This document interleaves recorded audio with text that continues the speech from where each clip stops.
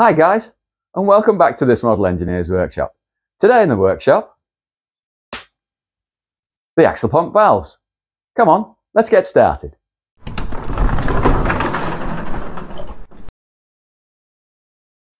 Hi guys, I'm the chef. Today in the workshop we're going to keep going on bits and pieces for the axle pump.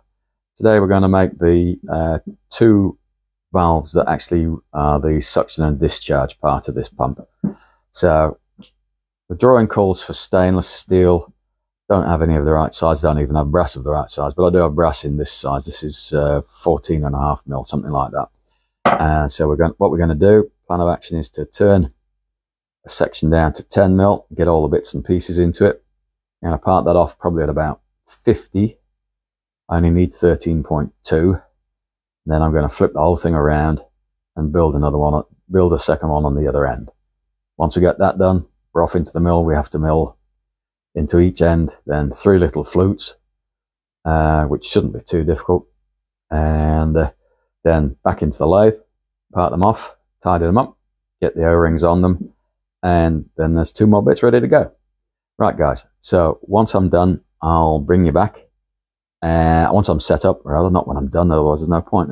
Once I'm set up in the lathe, uh, with this in there, we'll just do a quick face off, do a bit of marking out, work out roughly where we've got to be, and start making the first one. Here we go.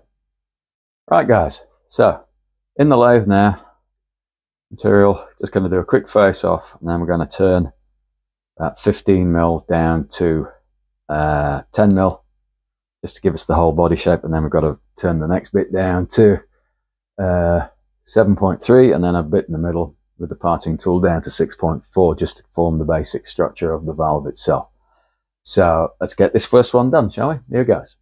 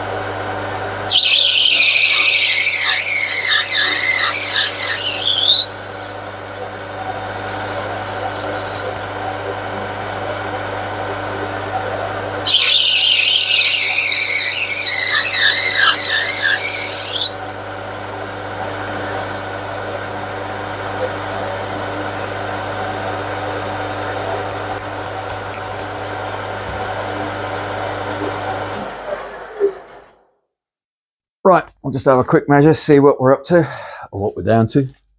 Let's have a look. We need to be 10 mil.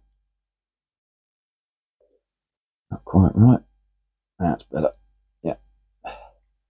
So we are on 11 points. Let's have a look. See. So 11 points. What are we going to say that is? Uh, and down this end, two, two, five, three, three, five. 11.35, 1.35 to come off. So let's go. This will take about 0.8 off.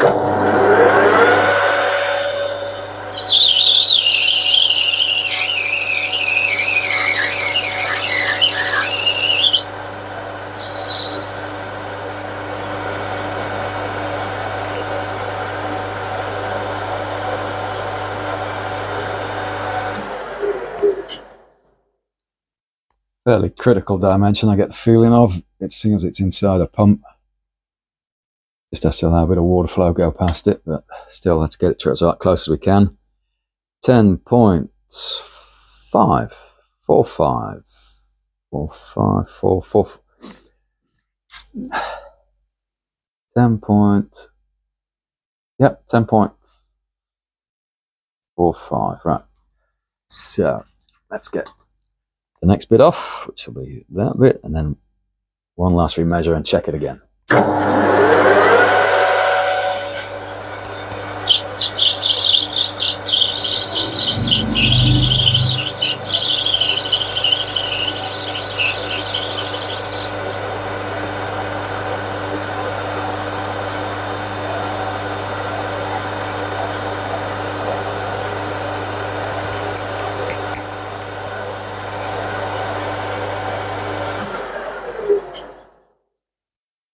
Let's have a look see.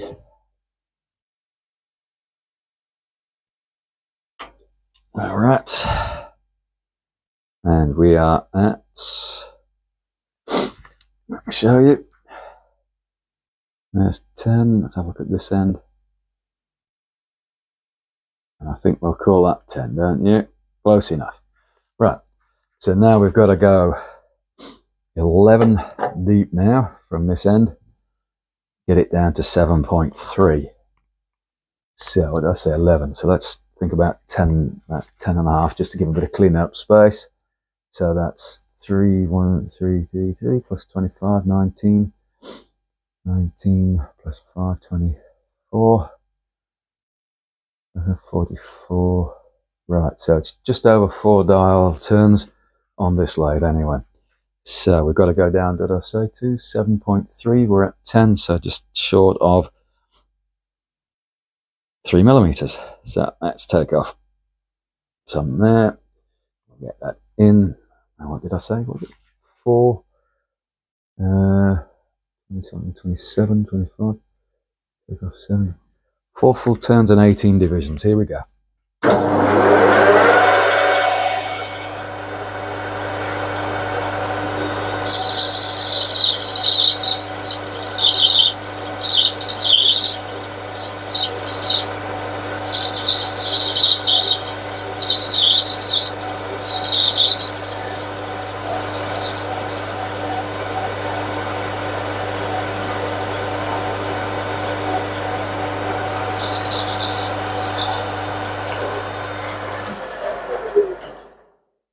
Just do a bit of a check on that. Should be 11 millimeters. My calculations were correct. And we are spot on. Don't know if you could see that, but uh, believe me. Right, so uh, we were at 10. We need to get to 7.3. I've just taken off 0.8. So this should be somewhere in about 9.2. And lo and behold, yes it is. There we go. Right. 9.2 minus another 8 would bring us down to 8.4. Here we go.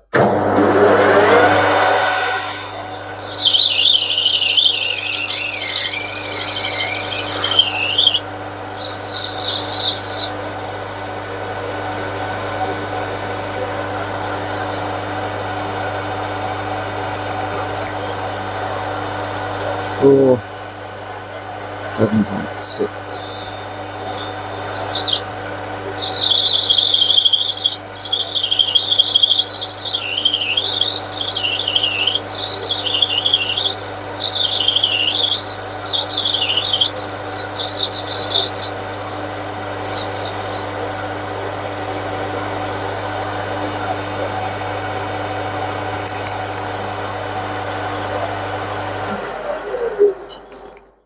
So another two cuts off there now. That should bring us down to about 7.6.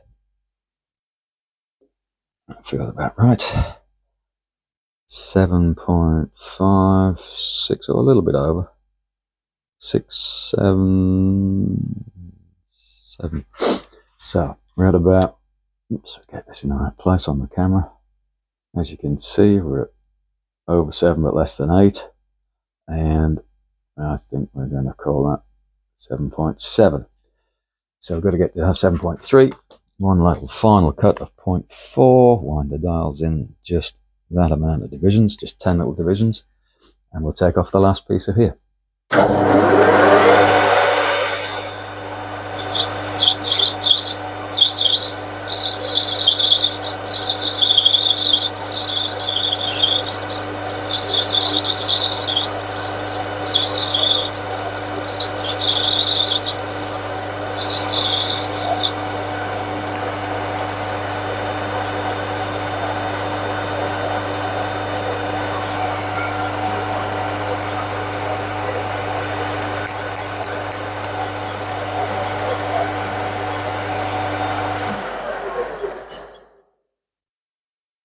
Okay, let's have a look.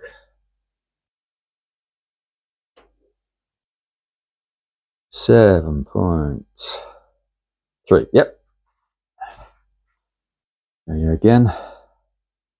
Closer to seven this time. Two five is just slightly over. Three is good. Three five is just under. Yep, seven point three. So we've got that one bang on. Okay, so that's great. Now I'm just going to have to change the tool to my little narrow, excuse the hand, there, tool post. There we go. Put that back on its holder. Now, got the little parting tool in the tool post now. So we're going to, that's not the little one, is it? That's the big one. Good job I spotted that.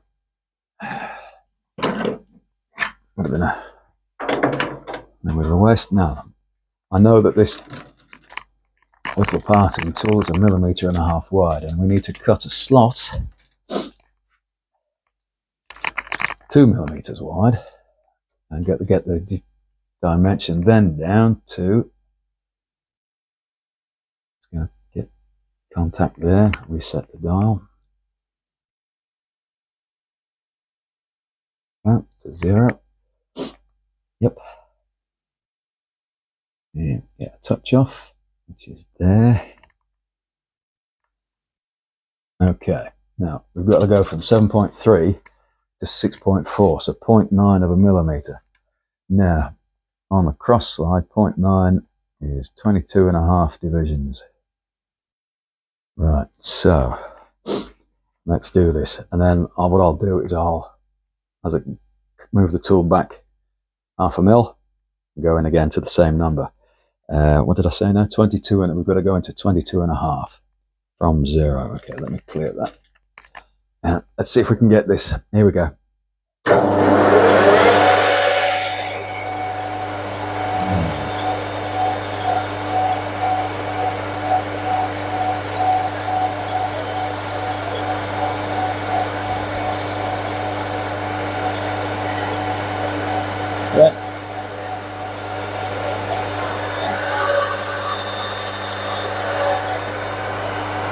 This out. the back, take care of the backlash. And I've got to come back 25 divisions on this one. So to go to there and we go back in to 22 and a half.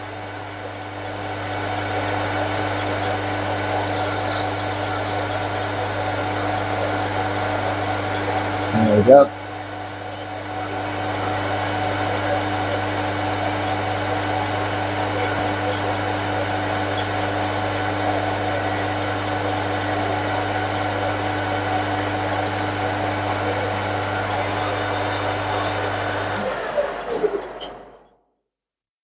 And that should do it. What I am going to do is I'm just going to get a small file going on there. There's a little bit of a burr we've got to get an O-ring onto that. So let's just get the small files out. Here we go.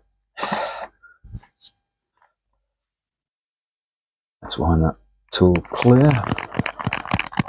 Now, as I've always said, even though this is a small file, it's got a handle on it. Let's just get that burr taken off.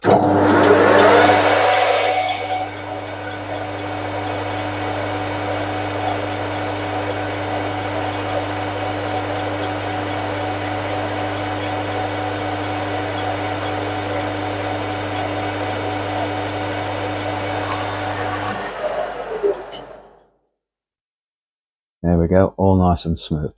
Let me just grab one of the O-rings, see if it fits. Put the vice back in the. Put the file back in where it came from. Right, here we go. It's gonna be one of those, isn't it? Come on. There we are. So, there we go. That's the O-ring we're dealing with. Should just slot over that with a little bit of a stretch. Yep. Oh, go on. And it's cold in the workshop today. Even the O-rings are cold. Yeah, there we go. Slide that up and it should, he says with a hopeful smile in his voice, Oh, click. Look at that. Right. There we go, guys. That'll give you the idea. We're going to mill three flutes into this eventually. And then it'll come back into the lathe and we can part it off. And uh, just put a, when we're parting off, we'll just put a little chamfer on the top edge as well. Right. So I'll stop it there for now. I'm going to go and do, flip this around. Well, I'm going to pull this out, part it off to a reasonable length, about 50 mil. And then work with a smaller piece, put another one of these on that the other end, which will be coming out. And when I get that done, I'll be on the bench and I'll show you how far I've got. All right, guys, back in a tick. Right, guys, so there we go. One on each end. I've just popped the O-rings on just for you to see. Actually, let me just zoom in. There we go.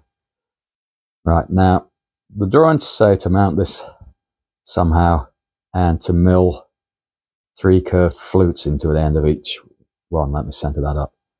So I just consulted the great oracle in the sky known as Facebook.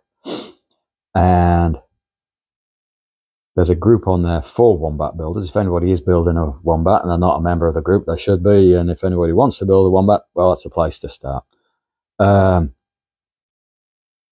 and one of the gentlemen said on there, said he just didn't bother. He just filed the three flats on there. So I thought, well, that's a cracking idea. That's better than trying to hold it, hold this uh, in the milling vise and then mill three curve slots into it, you know. So he, what have I come up with now? Of course, of course, you can't, you could just clank that into the vise, but yeah, I need something a bit more secure, I think. So I'll just set this up over here. Sorry for kicking the, the camera, guys. And I'll just move you up and around. Okay, I'll bring you up a bit more as well on the tripod. Right. So there we are, top of the vise. We're going to focus. Come on. No, we're not. All right, move you around then. Bring you back out. That might help. Right, so as you can see, V block with the clamp on it. Got that in the soft jaws of the vise. I don't want to jam this, put this into the vise jaws itself just to go and mark, put some marks on it. And as you can see now, all I can, I can just do now, use my small files or a big file, and I can just file the three flats. They've only got to come up eight mil. This is nine millimeters now that's got left here. And go file, turn it around a bit, file, turn it around a bit, file, and then flip the whole thing around again and do the other end. Uh, I'm not going to video that. That'd be really boring. So when I get them done, I'll uh, be back on the bench and then it quick show and tell. And then we'll go back into the lathe, start the parting off, put the chamfer on the head and then part the whole thing off. All right, guys, I'll be back in a tick. Okay, guys, so a few minutes worth of filing. You can see I've filed three flats on each end just so that water can get past them. The little O-ring goes in here where my thumbnail is and it just slides up and down. This is a fitting we made a few videos ago, suction and discharge. I don't know what number it was, but you can see that once that O-ring is on there, it's just going to squeeze in and it'll just do that, just pop up and down with the as the water pumps. And uh, it'll let the water pass or it'll stop it going backwards down, down the way it's not supposed to go. Right, I'm going to get this back in the lathe, set up the small parting tool, the narrow one, and we're going to get these two parted off. Uh, once I've made a little bit of a start on the parting, I'll use this small file, just put a chamfer on the top of the head, just to take off any burrs. The rest I've already done, of course, you saw me do that. And that'll be the two bits that I'll be able to get done today. All right, guys, Give me a second, I'm going back to the lathe. Right guys, so back in the lathe, the small, narrow uh, parting tool set up, piece in the chuck, you can see the triangle on the end there. So I've got the distance now set, so I'm just going to part in about a couple of mil. Then I'm going to use my small file to chamfer the head. Let's let me kill that fan. It's cold in the workshop today, so I had the heating on, so hopefully you could hear me. Ah, right, and uh, I'll just, with the handle of course, can you see, yep. And I'll just put a little chamfer on that once it's running, while the machine's running, and then we finish off the parting off. Right, here goes.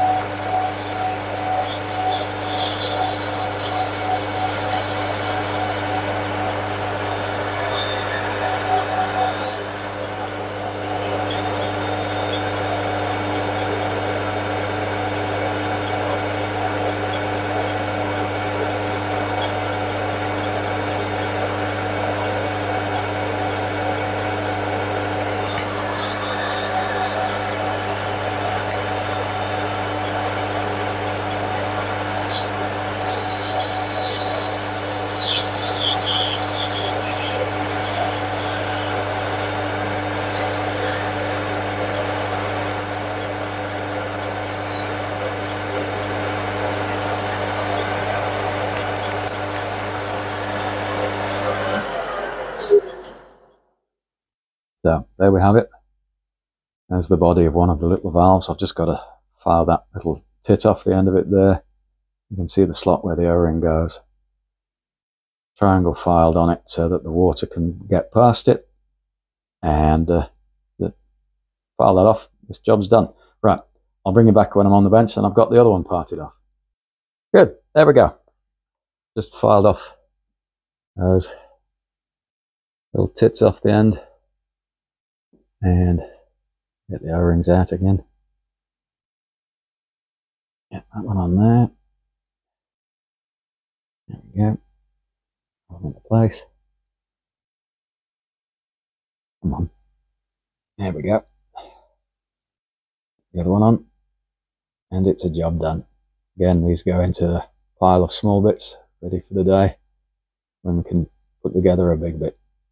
Not far off now, I don't think.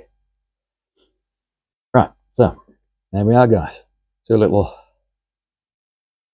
poppet valves. Nice little couple of hours work in there. There we are. Right, bring it back in a tick. Right guys, that's it for this one. Two more small bits done. It's almost like watchmaking is this compared to some of the bits we've already made. Right, so I'll finish this off like I normally do. If you can find it in your heart and soul to give me a like, a subscribe, and ring the bell for the notifications, Anybody out there who's just a watcher, please, please subscribe. It's doing me great guns. We're moving on. It's really good fun. And I'd like you to come along and join, join in with me. Right, guys. So this is Chef saying see you later and till next time.